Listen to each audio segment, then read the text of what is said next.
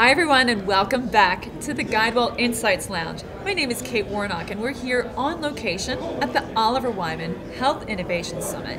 And do I have a wonderful guest joining us right now, Alexandra Drane. Alex, welcome to the interview. Thank you so much. I'm so happy to be here. We're thrilled that you are here. So, Alex, you are the co founder and board chairman of Eliza Corporation. Eliza, or excuse me, Alex, you presented today on how to make consumer engagement make business sense. What were your top points this morning? I think one of the things that we have forgotten in healthcare is if you want to sell more of something, you have to sell something people want to buy. Right? I think often, especially with technology, we are technology in search of a problem, as opposed to thinking about how do we solve the problems that real people want solved. And I think of things very simply in a Maslow's hierarchy kind of way, which is we're talking to people about being their best self and exercising and taking care of their diabetes. Meanwhile, for far too many individuals, they are their marriage is falling apart their mother with alzheimer's just moved in and they hate their boss so much they can't breathe mm-hmm. and then increasingly what's getting attention as you know is we've got this whole population that actually doesn't have safety doesn't have food doesn't have clothing right doesn't have the, the basics and one of the things we talked about today which i think is a fascinating topic is loneliness as an example of something that is really a problem in the healthcare space that we're not talking about. And I think we need to meet people where they are in the messy realities of their lives, think about the things that are stressing them out, waking them up in two in the morning, and those are our problems. Right? These are the problems that we have to solve because they are not only keeping people from focused focusing on making healthier choices, being healthier, they're actually robbing them of their health. These life challenges are shortening telomeres and ultimately killing people. Absolutely, and you know, I know that that this would resonate with you. Um, you know, we had Donato Tramuto on before, and he was saying that he just finished writing a book, and he was in a position. It was it was just a few months ago, keynoting a, a, an industry event, and the the venue convinced him to talk about the book, and he said, "Well, I wasn't really thinking that I was ready to do it, but he did," and it was about those bulldozer moments, yeah. and so talking about those things that um, you know can kind of build you know, take you down in life. Not everyone necessarily always has the resources to build them back, so yeah. build, build themselves back up like Donato did. So I think yeah. what you're trying to shine a light on is health is more than just that episodic. Did you get the flu shot? You know, are you are your your you know your your vitals where they should be? There's so much more. Well, you know, it's funny. Um, I often say that in healthcare we have two personalities, right? We have the personality that we bring to work every day where we feel wonderful about lecturing people about all the things that they should do, and then we go home and we don't do any of them, right? We take terrible care of ourselves. We drink too much, we don't sleep, we cancel our, our appointments because we don't want to go to them, we don't go exercise. There's actually a point that came up today on the panel that I think is even more important than that, that we as healthcare professionals, you know, team members need to take into very serious consideration, which is these life challenges are happening to us too. So it's not only that we ourselves are not taking good care of ourselves, we're also having life stress. So Kyra, who gave this incredible keynote, fantastic, then yeah. comes out afterwards and sits on the couch and says, "Well, my dad is actually going through this terrible health thing, so I don't even feel like I'm really here." And Kent talks about the stress that he went through his with his mother. And I think if we literally had taken the microphone and run around the room, while you see all these executives sitting here, somewhat present at least some percentage of a not insignificant percentage of their or their brains are off solving another problem that is in their home it's related to something deeply personal and it again is causing a health challenge for them well you know I want to I want to bring it back to your background and your experience and what you've done in the health industry, um, Alex. It's so important. You know, Eliza Corporation conducted studies which really truly got to the bottom of what prevents most people from taking care of their own health. Can you tell us why empathy might solve for those concerns? Yeah. Well, you know, what happened to us was we, like everyone else in healthcare, was solving the problems that we think matter. So we get measured based on HEDIS, we get measured based on metrics that are around clinical factors. And the beautiful thing about Eliza is we sit on this communication platform that lets us interact with a huge number of people on a regular basis. And we don't we don't believe in talking at folks. We believe in really having a conversation and part of a conversation is asking questions and listening for responses. What we notice is we would say to somebody, "Are you going to get a mammogram? Will you take care of your diabetes?" And some not insignificant percentage of people would come back and say, "No, I'm not." And we would say, "Okay, why not?" And we'd go through a list of the reasons that the literature said were true. Like, it's I'm afraid of finding out the results. It's scheduling, it's transportation, it's cost.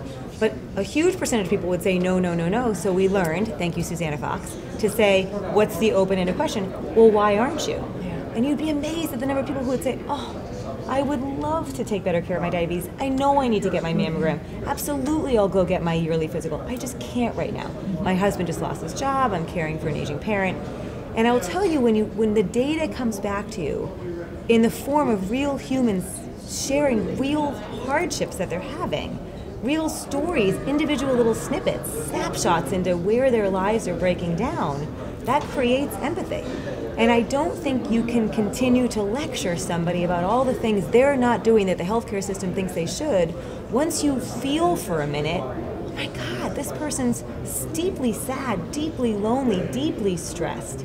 And so I think when you put yourself in that position, then you can't help but begin to think on that on the behalf of the consumer, the patient, the human, the soul that you're serving.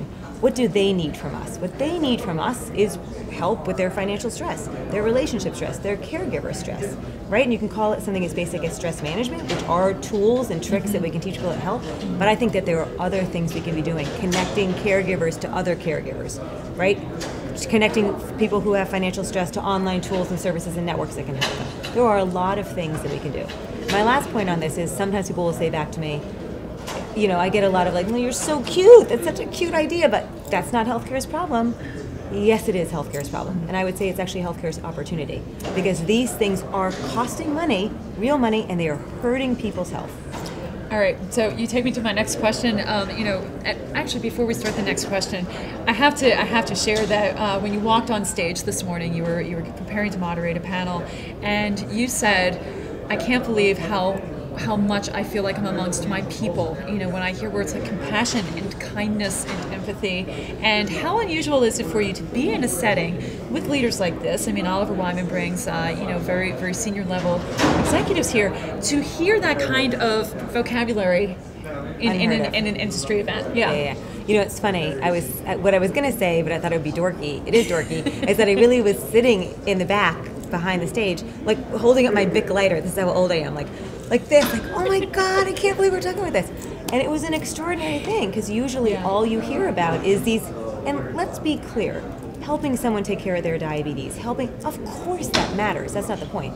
It's just we haven't earned the right to help them with their diabetes until we've helped them with the stuff that's stopping them from even going forward in life. And so to hear titans of industry legitimize on a stage in front of folks with big budgets and big populations, because that really matters. Right.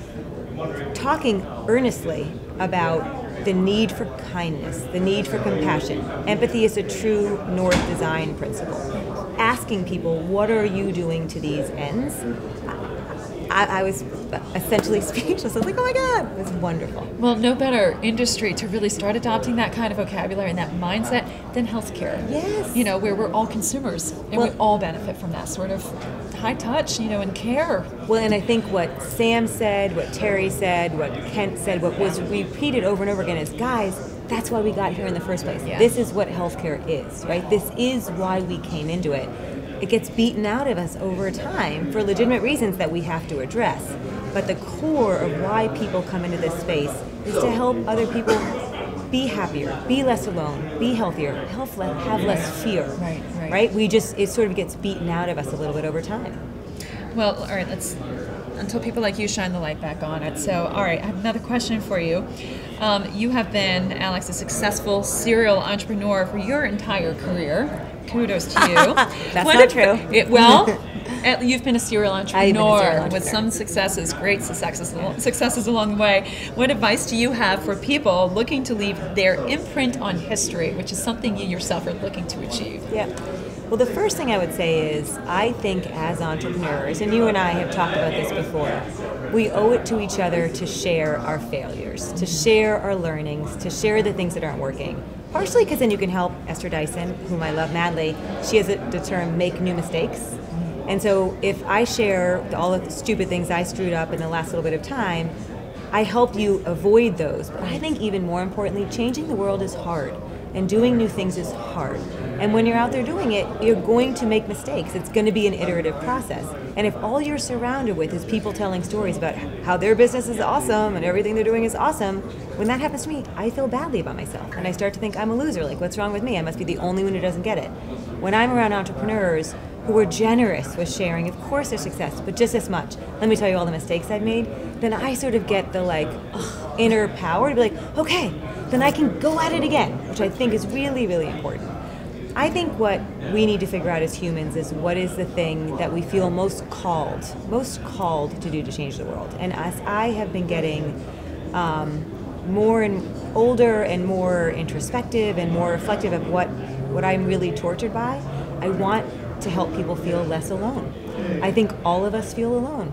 And even the most successful person in the world, in the dark of the night, left to themselves is stressed about something. They think they suck at something. They're worried about something. And I think if we could connect together, commune better as humans, and share more about our hardships, I might not be able to fix the thing that's wrong, but at least I can let you know you're not alone in the thing that's wrong. And I think that's key. So I think for each of us, it's just a process of paying a lot of attention to what what turns you on, like what what what, when do you hurt when people are describing something, and pay attention to that because figuring out what you want to do to change not only will make you feel better, but I think it helps you focus so that you can go ahead and have that impact. You know, so you talked about uh, Maslow's, uh, you know, operating in Maslow's law, and uh, you know, I, I, think the way that you describe it, you're enabling people to to operate at their highest and best self when you're taking care of their whole self. So, what a tremendous mission that you have, and we're so fortunate to have you here sharing your insights with us.